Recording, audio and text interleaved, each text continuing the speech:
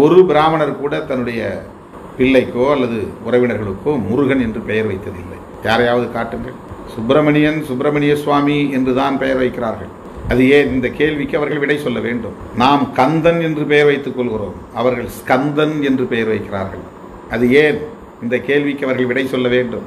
சிவனுக்கும் பார்வதிக்கும் பிறந்த இரட்டை பிறகு அண்ணன் தம்பிகள் விநாயகனும் முருகனும் என்று கதை சொல்லப்படுகிறது. முருகன் தமிழ் கடவுள் என்றால் விநாயகன் தமிழ் கடவுளா இல்லையா என்கிற கேள்வி எழுகிறது. ஆக சிவனுக்கும் பார்வதிக்கும் பிறந்த முருகன் தமிழ் கடவுள் என்றால் சிவன் தமிழ் கடவுள் இல்லையா பார்வதி தமிழ் கடவுள் இல்லையா? சிவனும் பார்வதியும் இந்தியா முழுவதுக்குமான தலைவர் கடவுள்கள். முருகன் மட்டும் தமிழுக்கு மட்டுமான கடவுளா? இந்த கேள்வி எழுகிறதா இல்லையா? என் என்ன விவாதம் இது?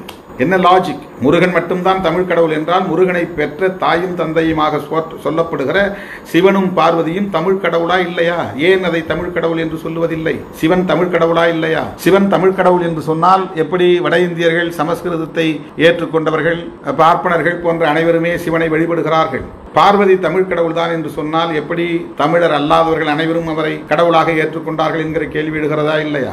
முருகனின் கணேசமூர்த்தி தமிழ் கடவுள் இல்லையா? அப்படி என்றால் ஏன் அவர் தமிழ் கடவுள் கடவுள் இல்லை. இந்தியா முழுவதும் வட இந்தியாவில் பெரும்பாலும் விநாயகரை அவர்கள் ஏற்று வழிபாடு செய்கிறார்கள். அவர் சமஸ்கிருத கடவுளா? இந்த கேள்விகளை எழுப்பினால் நாம் கடவுளை கொச்சைப்படுத்துகிறோம் அல்லது இந்துக்களை புண்படுத்துகிறோம் என்று நம் மீது பாய்ந்து பிராண்டுகிறார்கள். ஸ்கந்தன் யார்? கந்தன் யார்? முருகன் யார்? சுப்பிரமணியன் யார்? இவைகளெல்லாம் எப்போது பிணைக்கப்பட்டன? எந்த காலகட்டத்தில் இந்த கதைகள் உருவாயின? கடவுள் நம்பிக்கையை பற்றி நான் இந்த இடத்தில் கேள்வி எழுப்பவில்லை. இப்படிப்பட்ட இந்த கதைகளில் இருக்கிற கேள்விகள் தர்க்கமானவையா இல்லையா என்கிற அடிப்படையில் தான் முன்வைக்கும். இதுவரையில் ஒரு பிராமணர் கூட பழனிக்கோ திருத்தணிக்கோ அல்லது இந்த அறுபடை வீடுகளுக்கோ அழகு குத்தி காவடி எடுத்து போனதுண்டா? இன்றைக்கு ராஜா போன்றவர்கள் எல்லாம் முருகனுக்காக வரிந்து கட்டிக்கொண்டு பேச வந்திருக்கிறார்களே யாரை ஏமாற்ற? தமிழ் கடவுள் முருகனை பற்றி பேசுவதற்கு அல்லது இந்த முருகனை பற்றி கவலைப்படுவதற்கு தமிழர்கள் வரட்டும். ராஜாவுக்கு என்ன அருகதை இருக்கிறது? இந்த கேள்வியை நாம் எழுப்பக்கூடாதா? யாரை ஏய்க்க யாரை ஏமாற்ற?